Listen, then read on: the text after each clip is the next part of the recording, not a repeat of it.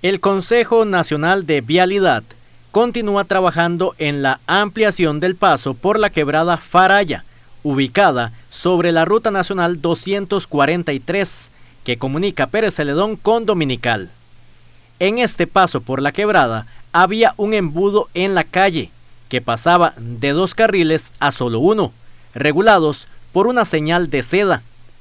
La Gerencia de Conservación de Vías y Puentes del CONAVI trabaja en la ampliación de la alcantarilla de cuadro para ofrecer un paso seguro con ambos carriles habilitados, ya que este sitio queda en una curva.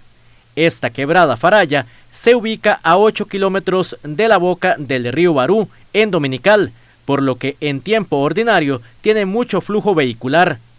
Como se trabaja al lado de la calle, no fue necesario cerrar esta vía, pero se cuenta con la señalización para que los usuarios mantengan la precaución y bajen la velocidad al circular por este sitio.